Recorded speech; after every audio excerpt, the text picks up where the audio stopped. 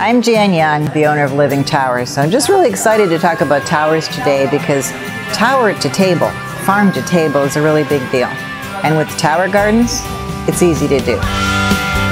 One of the best parts about growing a tower is the harvest. Yes, it's fun, and yes, there's a lot of joy in gardening, but when it comes down to it, this is my best part. I decide what I'm having for dinner by what I'm getting from my tower. So tonight it's kale. The celery was for my salad, or it's for tuna, or it's for the stew. What lettuce am I eating depends on what's fully matured. Right now, tonight, it might be a Bibb, or it might be romaine. But today what we're gonna do is we'll take the Bibb, that's for salad. Mint, I do a mint tea, peppermint tea, spearmint tea, all of those things grow crazy. Obviously the strawberries aren't ready yet, but look at the babies coming in.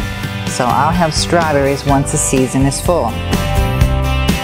So growing organic lettuces and greens and all types of produce is, is needed today, and it's so easy to do.